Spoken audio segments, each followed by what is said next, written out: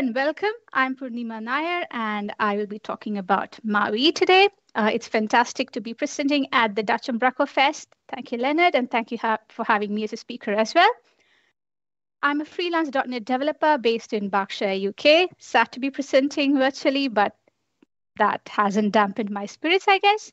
I'm a Microsoft MVP for developer technologies, and I'm also a three-time Umbraco MVP. I started using Umbraco back when it was at its version 4.7, and Umbraco since then has always been with me. Um, non-work me, I have a little daughter who is seven years old. I spend a lot of time with her. Currently, she is at Birmingham with her cousins just before lockdown starts here.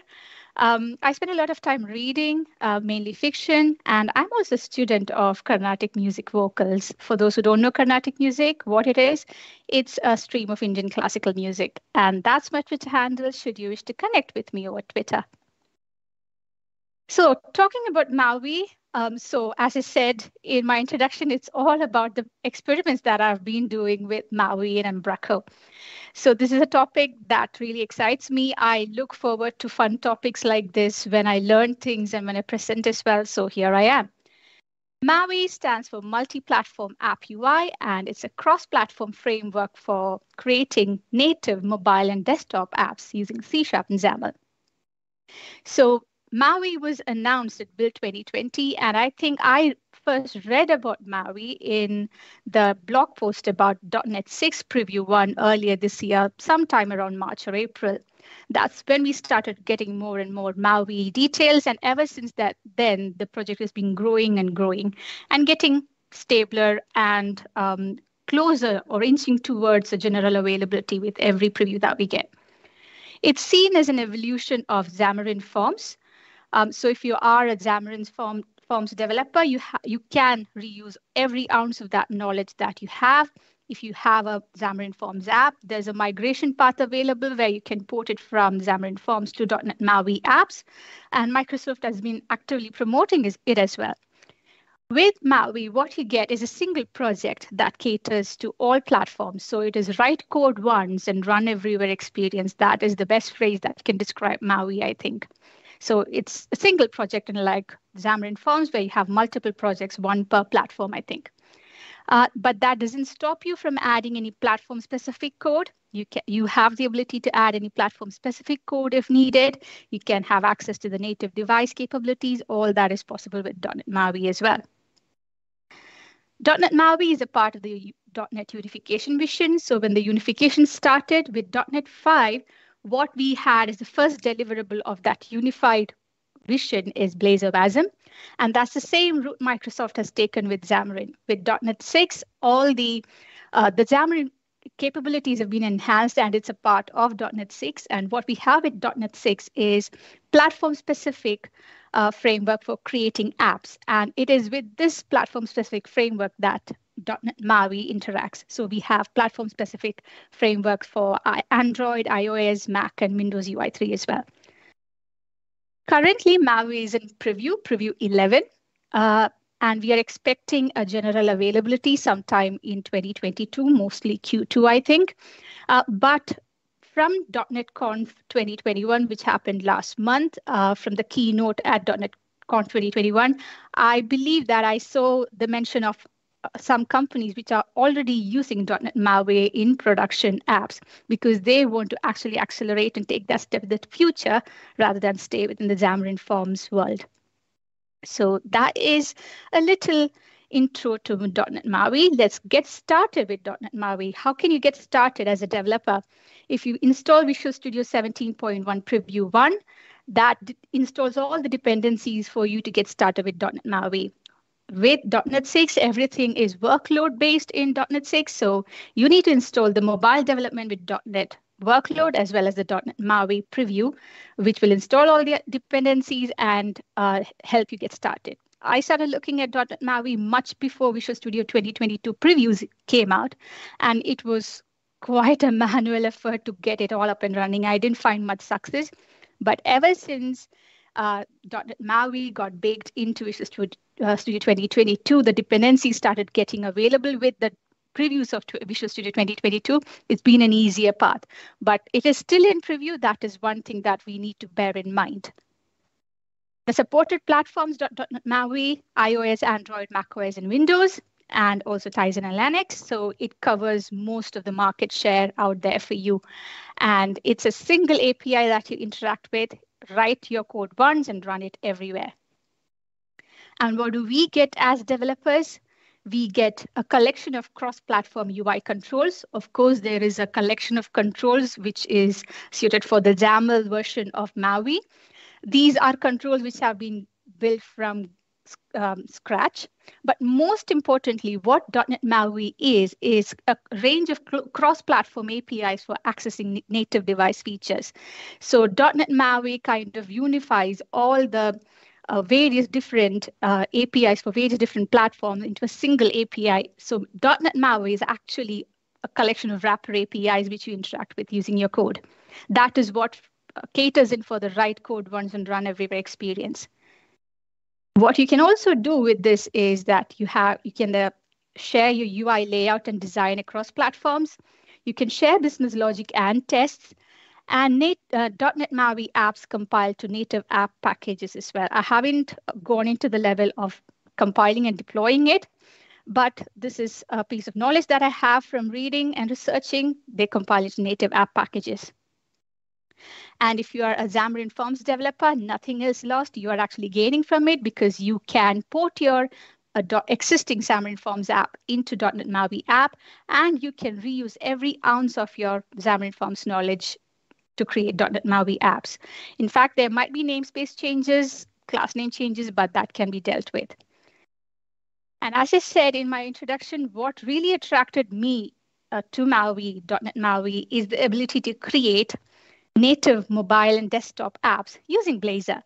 I am not a Xamarin Forms developer. I know nothing about Xamarin Forms, but um, .NET MAUI tries to break that barrier between app and web development because I can reuse my Blazor skills to create native uh, native apps. And that's made possible by something called Blazor Hybrid. This is what powers um, the ability to have Blazor on native mobile devices. It's an extension to Blazor. It's not a hosting model like Wasm or server. It's actually an extension is what I understand and it's primarily targeted at web developers who wishes to create native desktop and mobile apps with offline capabilities, making use of HTML, CSS, Razor, and of course C Sharp. So what you can do is build native desktop and mobile apps using Blazor and MAUI. And what it uses underneath the hood is something called uh, embedded web view control, which renders the web UI. More of that a bit later on. But if you're thinking there is a browser sandbox or there is some HTTP call that's happening underneath the hood, that's not the case. There is no browser, there's no HTTP sandbox. It's native app running on your device, be it desktop, be it mobile, Mac, uh, Android. It's native apps. What Maui Blazor bring, brings to me is the best of both worlds. For example, if I have a Blazor app, I can reuse the same code to create native apps with native device capabilities. So which means that suddenly have a broad reach going all the way from web to native devices, covering all of that platforms for me. What it also means is that I can use my web development skills to build native apps. Um, by all means, I'm always open to learning new things, but it's um, it's a totally different thing when someone says to me, "Hey, you have HTML and CSS skills. Now let us reuse that to build native apps." That's like blowing my mind off. So the keyword when you search for Blazor and native apps is Blazor hybrid or hybrid apps using Blazor. And if you have Googled that keyword, 99.9% of the time, one of the top search results that you would be getting back is mobile Blazor bindings. So when .NET MAUI came out and I started um, picking up bits and bobs from here and there, I was on the absolutely wrong impression that .NET MAUI Blazor app is actually powered by mobile Blazor bindings. No, these are two very different separate things. Mobile Blazor bindings to begin with is an experimental project out there. And as far as I understand, it's a collection of UI controls, uh, which are like wrappers to Xamarin Forms components. So it's more of a UI framework. .NET MAUI actually unifies the various platform APIs like Windows and Android and macOS into a single API or a collection of APIs so that your code is interacting with that wrapper APIs. So .NET MAUI is actually an API. Of course, we have the UI control, but .NET MAUI is primarily API. You write code to interact with .NET MAUI APIs, um, as well as accessing the native device features if needed. So .NET MAUI is API, and the Blazor aspect of the .NET MAUI app is made possible by something called Blazor WebView. We have the Blazor hybrid, which is the extension. And underneath the hood, it uses something called Blazor WebView, which actually brings embedding of Blazor functionality into these devices. So we have WebView and uh, all of this because of the experiments that Steve Sanderson has been doing. He's the person behind Blazor. He found he had a breakthrough with WebView, and then people started writing WebView controls for various different platforms like desktop, uh, I, um, iOS devices. And suddenly there is this Blazor WebView for MAUI, which enables embedding Blazor functionality. This also means that Razor component libraries, Razor components are the building blocks of any Blazor project or Blazor app. You can have Razor component libraries. You can bring that into native devices. You have Razor component libraries that can be shared between your Blazor server or WebAssembly project as well as your .NET MAUI apps underneath the hood of this Blazor WebView, this the, the driving factor is something called WebView 2, which actually uses Edge as the rendering engine to display web UI. So it's not exactly an iframe, but it's like a little window which pulls in web content from somewhere by um, it actually pulls in what you suggest as a host page. So Edge is the rendering un, uh, engine underneath the hood, and WebView I think is like a edge capability, and that's made use of in Blazor WebView. And that is actually what brings Razor components into uh, WinForms as well as uh, the native devices. So if you watched Corney's talk this morning, he, he kind of mentioned about WebView as well today morning. So that's a quick rundown of MAUI for you. Let's see um, the solution structure in MAUI. So if you are familiar with .NET 5, .NET 6, you have a same kind of path. We have a startup class, which is the .NET MAUI program class, where the Blazor web view has been registered and that the service has been registered as well for you. And the main page of any .NET MAUI app is this main page.xaml. So things vary between the XAML version of .NET MAUI and Blazor version. So this is in the Blazor version of .NET MAUI app. And I've got the Blazor WebView control, which suggests the host page. So this is Blazor. So the, the page that gets loaded for every request to Blazor is the index.html. And that is what we have here. So as you can see, there is a div with an ID app, which is where your content gets loaded. And back to my main page, there's a root component that, being, that is being suggested to the web view, which is a component of type main. And the selector is actually defined as well, which is the ID of that div we just saw. And if you look at this main component, which is the main.razor, is nothing but, but your standard Blazor router. So once you have your Blazor WebView in place, Blazor takes over because that is the root component. And if you look at a normal Blazor WebAssembly app or a server app, again, the root component is the router for you. So you can have this Blazor WebView control everywhere um, in your app, or you can have a WinForms app or a UWP app, uh, which you can progressively then transform from being a normal UWP app to a .NET MAUI based app by having this WebView control in place. So that is the main page. Then you have your uh, resources, which are like shared resources for um, like assets, imagery, etc. You have your platform specific code here the startup class and the configuration file for each of the platforms. So that is the .NET MAUI specific bits. Then we have the routed components um, in the pages folder. This is very similar to the Blazor WebAssembly or server project where you have the routed components. Routed components in the sense they have a route template attached to it using the page directive. And we also have the shared folder with the shared components. And uh, a quick look at the app. This is how it looks today. It's the same app, running as a Windows desktop app as well as a, a app on the Android um, emulator. I haven't connected my phone to um, my machine to get it running on iOS devices, but that's something for later. But I think this will do for now. Um, so going ahead, how am I using Umbraco? How am I bringing Umbraco into this mix? I'm using Umbraco as a headless CMS where I'm using Umbraco as a content store. So what I have here is an instance of Umbraco, which I've hosted on Azure. The reason being I can talk to my APIs of Umbraco because I'm using Umbraco headlessly. Uh, on my local machine, by all means possible, Windows works. Um, with Android, I had a little bit of a situation. Um, you can actually get it working on Android talking to local host APIs, but I just thought, let me deploy it into Azure, and that way I can learn about deploying to Azure as well. Um, and I have my APIs working. So the data context of the day is nothing but the sessions at the Dutch Umbraco Fest. So that is a list of sessions I have got.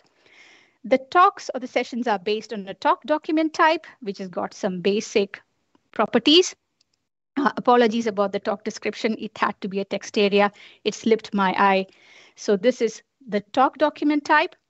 And I also have a comment uh, document type, which is allowed as a child to comment uh, to a talk. And if I open the document up, I can see some basic information. So there's some device information being captured as well. We'll have a look at it as well. So let's first uh, talk about the first demo of the day, that is reading content from Umbraco. So I'm using some concepts in Umbraco for this. So we'll talk about the Umbraco concepts, and then we look at the code as well as uh, the MAUI app code. So talking about Umbraco controllers, which is the first Umbraco 9 concept of the day, Umbraco API controllers are nothing but web API controllers. So if you're familiar with web API controllers in .NET, that's exactly what Umbraco API controllers are. The, the difference comes in the fact that Umbraco API controllers are auto-routed, which means that you don't need to register your routes. And you start off by creating any controller and inheriting that from Umbraco API controller. There you go. You don't need to do anything else. There you have your first Umbraco API controller. Umbraco API controller inherits from the .NET controller base, which means that everything that you have access to with .NET controller base, you get the same thing in the Umbraco API controller as well. And for the routing to kick in, uh, there is a naming convention to be followed, which is all your controller classes must be suffixed with the word controller. One of the key differences between Umbraco 8 and V9 controllers is the fact that in V8, we used to have access to the services, as, as uh, I think, as well as the Umbraco helper, the Umbraco related objects. We don't have that anymore with V9. In V9, every Umbraco related object and service needs to be injected. So that's one of the key differences between V8 and V9 Umbraco API controllers for you. And by all means, if you want to make use of attribute routing in .NET, you can by all means do that. It gives you further control over the API URL. So you can forget about the auto routing part and have your own routing in place. There are three flavors of Umbraco API controllers in Umbraco. I'm using only one, which is the locally declared controllers, but nevertheless, we'll talk about the other two as well. So with locally declared controllers, the it is the most common way to create an Umbraco API controller. So you start off by inheriting from Umbraco API controller, and that is it, sorted out for you. It's routed via the URL Umbraco slash API, followed by the controller name. So the controller name is always prefixed with slash Umbraco slash API, which is the path, unless and until you don't bring in attribute routing. It's not routed via an area, and there's no additional setup required. And the use case for locally declared controllers are for creating API controllers in your own projects, which is what I'm doing today. And this is how a, uh, a, a sample code can look like when it comes to Umbraco API controllers. And the route would be Umbraco slash API slash the name of the controller minus the word controller, followed by the action name. Second flavor of Umbraco API controllers are plugin-based controllers, which inherit again from Umbraco API controllers. But unlike locally declared controllers, they are routed via an area and routed via uh, the URL, which is Umbraco slash your area name slash controller name. So basically, in plugin-based controllers, the API segment in the route URL gets replaced by the area name, which is something that you give to the controller. And the use case is API controllers in Umbraco packages, which are meant to be distributed because plugin based controllers are routed via an area, which means that they won't mess with any locally declared con controllers. The code is no different from Umbraco API controller or not very far off. The only extra thing that you need to add is a plugin controller attribute and give it an area name.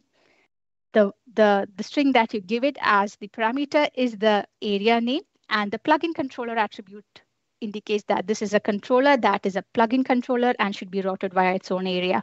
And the route would be Umbraco slash the area name, which is my plugin area, followed by the controller name, followed by the action name. Finally, the third and final flavor of controllers, Umbraco API controllers, back office controllers, which, uh, which can be used to create API controllers to work within the back office, which means it makes use of the security model of the back office. You inherit from Umbraco authorized API controller or the Umbraco authorized JSON controller. Uh, the Umbraco authorized JSON controller actually inherits from the authorized API controller, but it supports only JSON and every request to one of the actions in the JSON controller should have the correct headers for it to work. So that's the key difference that I found. So inside your back office, if you want to create property editors um, like uh, dashboards, I think in all means you would be using the JSON controller. it's again auto-routed and the URL path would be umbraco slash backoffice slash API slash controller name, which means there's an extra segment um, over the locally declared controllers that is back office. That is what it gives it the additional security. And the use case, you can use these controllers in your own projects. If you're creating packages for back office, then you can use back office controllers as well. So that is how the controller code looks like, and that's the route. In fact, you can make it a plugin controller as well. You can give it the attribute plugin controller, especially if you want to have packages meant for back office, that would be useful. In that case, again, the APS segment gets replaced by the area name of your choice. Second concept I'm using for the day for this particular demo is Umbraco Mapper, where Umbraco Mapper is a tool available to you in Umbraco 9, which can be used to map one object to another. Um, it is not to be confused with Andy Butland's package. We had AutoMapper in, uh, prior to V8, I think. And with V8, it's been, again, uh, AutoMapper has been removed from the core and Umbraco Mapper has been brought in as a tool. With Umbraco Mapper, there's an interface called iUmbraco Mapper, which can be injected into your classes and you create mapping definitions, which defines your map or how to map one, one object to another, what properties to map, uh, map. And that is a class which can be created by inheriting from IMAP definition. And mappings finally must be registered via collection builder. So everything needs to be registered at startup. So let's have a quick look at some code and then we'll see how that is working in Maui as, as well. So I've got this talks API controller, which has got two methods, get talks and get talk. Get talks get all the talk and get talk gets a single talk. It's an Umbraco API controller, so I need to inject all the dependencies, which means I have the um, iUmbraco mapper as well as Umbraco helper. In my get talks method, I'm using Umbraco helper to get all the talk, uh, all the content of type talk and ordering it by the time. And then I'm using Umbraco mapper to map the content, which is a list of or IEnumerable of talk, uh, to something called talk response. So the talk response is actually like a view model which mimics the properties of my content node. So this calls for mapping a list of talk to a list of talk responses. So we need to look at the mapping definition for that, which is here. I've got a mapping definition deriving from my map definition, and I've got a map method which maps the properties. And finally, I have got a composer, which adds my mapping definition to the collection builder. Two key differences here. Uh, sorry, one. Um, in V8, we used to achieve this using iUser Composer. Uh, we don't have iUser Composer, I think, in V9. We only have iComposer. And we can also chain the mapping definitions, which is fantastic. Um, so I have another mapping definition here called comment, which I have changed, chained and added to the collection builder. Uh, in the get talk method, I'm doing the same thing, but instead I'm getting a single talk um, by its key and then mapping to a talk response. I'm also getting the child content that is comments um, and then adding it to my response and sending back. It's a demo, so I'm just going a bit crazy with that. Um, so that is my Umbraco API controllers. I have deployed this to Azure and it's available as an Azure um, web app service for me. And in my Maui code, I have this Umbraco integration service with two methods in it, which reaches out to my API controllers using uh, an HTTP call and deserializes it for me. And this has been registered in the startup. So which means that in my components, the Razor components, the first one being talks, I can inject the Umbraco integration service and in my OnInitializedAsync method where I can, which I can use. It's a lifecycle method in Blazor, which I can use to uh, initialize my component with data. I use the Umbraco integration service to get the talks. And uh, I'm using a bit of null check to display the information. And for each talk, what I'm also using is using the nav link component in Blazor to actually link to another component in my app so that I can display the talk details. So let's see how that looks like. That's the Android app and that's the Windows version. So if I go into the Android version, this is all loading for me. So I have all the data here. Similarly, I've got all the data here as well. So I've already deployed my app into the Android emulator, which is the way it is working now, and I'm running the Windows app. So if I go into one of the talks, let's see, I can see the details coming in.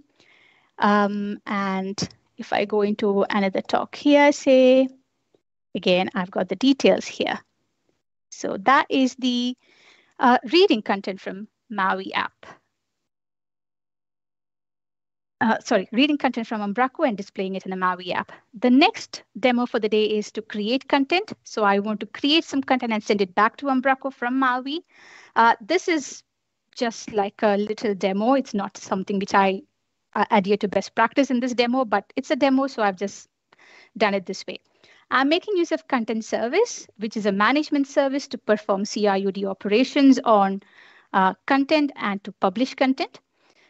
As a part of content service, we get an interface called iContent service that can be injected into your classes, uh, API controllers or custom controllers. You're using service controllers the MVC way. You have the service context object, which gives you direct access to the management services as well. But in all honesty, you are probably going to use content service by injecting it into your own classes and then using from there. As a best practice, never use any management service in views. It should not be used for presenting data. It should only be used for modifying content as well as entities. Um, if you want to use um, view, if you want to present data in your views, by all means stick to iPublish content query because that is much faster and that looks up at the cache, the content cache, whereas all these management services directly interact with the database, which means that you can have noticeable performance difference. So let's see how that is done.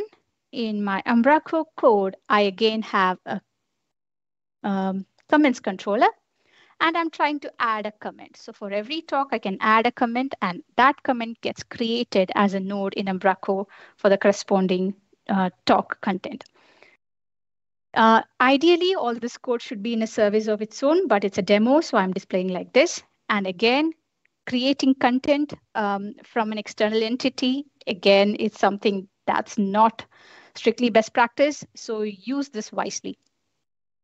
I'm injecting my iContent service and Umbraco helper again because it's an Umbraco API controller and I need to inject my dependencies. And in my add comments method, I'm using the content service to create a node. Um, so my method has a comment request model, which is the talk key, the title of the comment, the comment text, and something about the devices. Uh, so the device that is being used. So I'm setting the name of the node, which is the first argument as the title of my comment. And where am I creating is as a child to a content node of the key talk key. And I'm passing it the document type. It's magic string. I can use something better here. Sorry about that. I am setting the values for the various fields, and I'm using the save and publish to save and publish the node.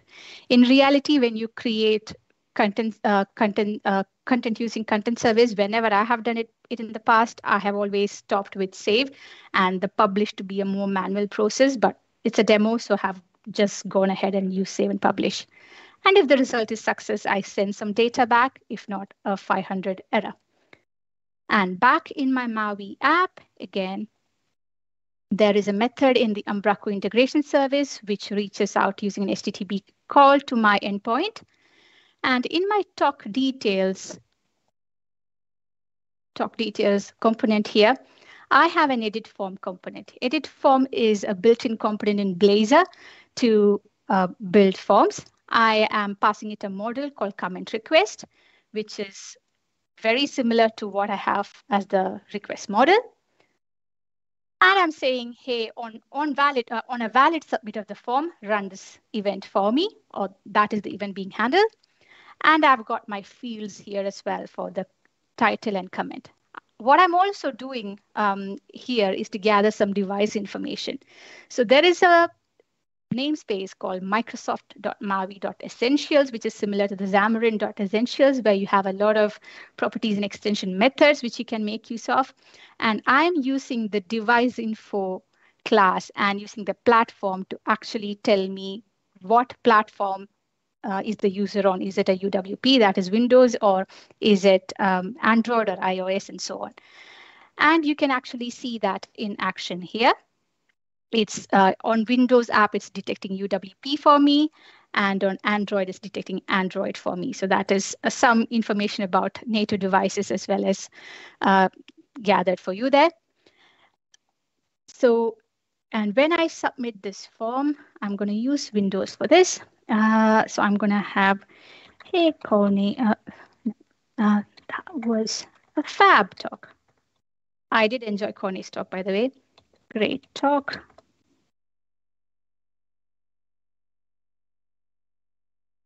Comments. And what it does is it creates the content in Umbraco and also refreshes this little component for me. So if I go back and have a look at Kone's talk, there you go. That's my comment in place here. So that is um, that is the creating content in Umbraco from Maui app. Moving on, um, so if my entire talk was about experiments, this actually defeats defeats it all, and this is actually the cherry on top of the cake for me because I've tried to play around with real-time information. Um, and for real-time information, I'm making use of notifications in Umbraco and a service called Azure Web Pub Sub. So I saw this very um, exciting and fun talk by Anthony Chu at .NET Conf this year, where he used a video stream from the device to create um, ASCII character, the ASCII equivalent of the video stream. It was a very fun demo which I saw, and he made use of Azure Web PubSub for that. So I just wanted to try it out, and so here I am. There might be other ways of doing this in Maui, but I wanted to give it a go with Azure Web PubSub. Uh, and it's a service which came into general availability around the .NET Conf time as well, if I'm not wrong. So the main Umbraco concept for the day is around notifications. So we will see how we can hook up Umbraco and use Umbraco as a publisher to send information to the Azure Web PubSub service. So notifications are basically another name for events in Umbraco V8. So they have been renamed to notifications in V9. And it's very similar to the observer pattern. So the observer pattern um, enables a subscriber to register with and receive notifications from a provider. And um, observers register with the provider, and whenever a predefined condition or an action is successful, all the connected clients and all the observers are notified uh, by the provider. Typically, notifications exist in pairs, that is before and after. So if you're thinking about content and publishing of content, there would be a notification which gets initialized before the content is published and after a content is published.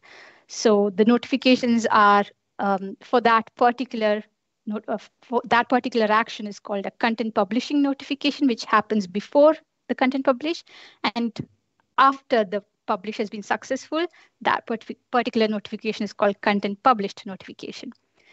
And when and where you should be using these two. If you want the ability to cancel an action, then you need to use the before notifications. Um, there's absolutely um, genuine use cases for that. Say, for example, if say uh, some content that you've entered is not up to scratch, then you can use the before notification to say that, hey, this is wrong. Just do it. Uh, so I'm canceling this. You need to fix it before I can go ahead and say uh, publish the content. That's by all means possible. Um, use the after notifications if you want to run custom code after an action has succeeded. So if you want to say, um, do something after the content has been published, use this particular notification.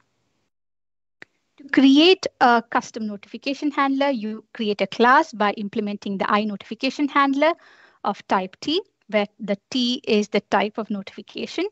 And you can register the handler in the startup or as a composer. I'm so sorry about the highlight on the word composer, um, but you can register the handler in the startup or the composer. One thing to bear in mind about any notification handler is that it has a transient lifetime. So every time a notification is received, the handler gets initialized and called. So if you need persistence, make sure you put all that in a service. And talking about Azure Web Pub Sub, it is a service to build real-time applications using WebSockets and the publish subscribe pattern. So um, I think um, you might have watched Coney's talk this morning where he used Blazor Server in conjunction with Umbraco as a binding client. I don't have the binding client here, so I need some way of publishing from Umbraco and passing that message to my connected, my other connected client, which is my Maui app. As far as Azure Web Pub Sub is concerned, Umbraco as well as my Maui apps are connected clients, but I'm using Umbraco as the publisher or the, the, the entity which actually sends out the messages. And Azure Web Pub Sub is acting as the server, which kind of sends the messages out to all the connected clients. So which means that bidirectional um, communication is possible from Maui to Umbraco as well as Umbraco to my Maui. So what you can do is publish content updates between server and connected clients. Clients do not need to poll or submit HTTP requests for updates. Um, they, they just keep on getting the messages because we have a persistent the, uh, WebSocket connection in place. If you don't want a configured backend, you can use Azure Web Pub Sub as a lightweight server, so which is the use case that I'm going for. There are other ways to do it. You can have, uh, I think you can use system reactive um, namespace to achieve the same thing, or you can have SignalR in conjunction with Blazor. All of that is possible, but I just resorted to this way of doing it. Uh, there's one thing to bear in mind. Azure Web Pub Sub is a data processor service. There is no customer content being stored. So your content is safe. It's GDPR uh, uh, aligned and everything else. And talking about my setup for the day, what I'm doing today is whenever a talk is published in Umbraco, using the uh, uh, notification handler, it sends a message to the Azure Web Pub Sub service. And my Maui app, being an equally connected client, keeps on getting the message from the Azure Web Pub service using a WebSocket connection. So I'll explain the Umbraco code for this because the WebSocket aspect of it is inspired from a gist by Steve Sanderson. So in my Umbraco solution, I've got this custom notification where I'm handling the content published notification. So this notification is received every time a content is published. I'm injecting the web, WebPub subservice client, which is available as a part of my NuGet package, and it connects to my Azure in uh, my WebPub sub instance, and it sends messages to something called a hub in Azure WebPub sub. But that's again more information which you can gather from the docs. But just understand that there is a service called Azure Web, Sub, Web Pub Sub and Umbraco sends messages to that service in the cloud. So I have this handler handle method as a part of the interface. And for every published entities, I'm checking whether the content type is of type talk. And if it is of the type talk, I'm adding a message to the notification. This is the actual notification which shows up in the backend of Umbraco. So whenever um, a talk is published, this gets shown in the back office. And I'm also sending a message to all the connected clients to my Azure Web Sub instance. I'm sending a message called new talk published and the entity of the, the name of the entity is passed as well. So let's have a look. Um, let me bring up my Umbraco instance here and let me resize it. Uh, let me have my Windows as well as Maui app here.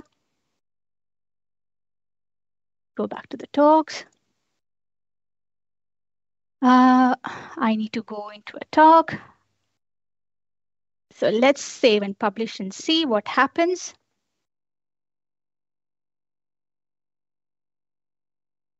So I've got the notification in the back office, and I've also got some real-time information from my WebPub subservice. This is real-time information within the app. This is not to be confused with the system notifications or the app notifications. Um, so that is uh, it from me around Maui and Umbraco 9. A big thank you to Gerald. Um, he helped me a lot with um, with some of the questions I had and provided me some very valuable feedback. He's got a YouTube channel. Feel free to go and have a look at it for a lot of Maui information. And thank you, Henk, for connecting me with Gerald. And that's my resources for the day, which I will put a link to in the channel. The resources are pretty thin at the moment because Maui is still in preview, but uh, it's at a place where you can actually start looking into and play around with. I hope you have learned a thing or two today. Finally, happy Christmas. Merry Christmas wherever, wherever you are. Stay safe. A very good new year to you all. And thank you once again. See you in 2022 or even before.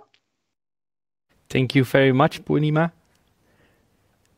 Um, I think that was a very interesting talk about uh, Maui as well as the new APIs, uh, talking about the Umbraco mm -hmm. mapper as well as the notifications and such thank you for that. I think it's very, uh, very important that people get to know these new APIs. Uh, the sooner the yeah. better. Uh, there was actually a message uh, coming from Gerald uh, for you. Uh, he mentioned to you that the Preview 11 was the latest one, but he also mentioned that the Visual Studio Preview right now has issues with that version. So number version 10 is actually preferred currently if you want to use the preview version of Visual Studio. it, it, was supposed to be my next question to Gerald at some point. How can I update my preview? but luckily, because it was like two days away from my talk, I didn't want to update my preview. So I am still using preview 10. Sorry, I didn't make it clear, but I am still using preview 10. Uh, yes, so with every preview, there are things brought in. Um, so give it a day or two before you actually upgrade yourselves and then see what's going on. Yeah. All right.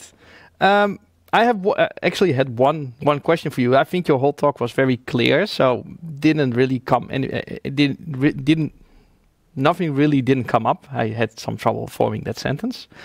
Um, how disappointed when you were you when you heard that Maui was moved to .NET 6 instead of .NET 5? Because initially it was announced that it would be part of the .NET 5 that released in November, I think. No, was. Uh, no, it was supposed to be released last month, .NET yeah, 6. exactly. It, uh, it, yeah, so it's got delayed, but I think uh, there is a very genuine case for that. Microsoft wants it to be usable right from day one. That is the message that I get, and it comes across very strongly. So they are going to ship it when they are ready to do it, mm-hmm. uh, which I think is fair enough. And that's the message I got from the keynote. So I'm happy to wait for it, yeah. but there is the preview available for me to play around with, gain some knowledge, see what is possible. So I think it's all building up for me.